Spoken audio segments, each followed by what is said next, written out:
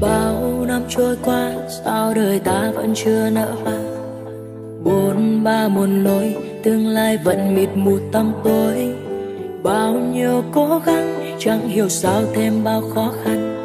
Được xa trông gai chẳng ăn nan bước bàn chân. Muốn thấy trời trong, phải trải qua bao phen bão sông gió thân mình không, ai đỡ nâng ai giang tay trống.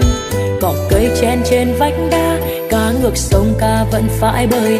Thì phòng ba vui dập ta sao thế gục ngã? Tự đi qua mưa rông, tự vẽ lên cầu vồng, tự điểm tô thêm cho mình cuộc sống màu hồng.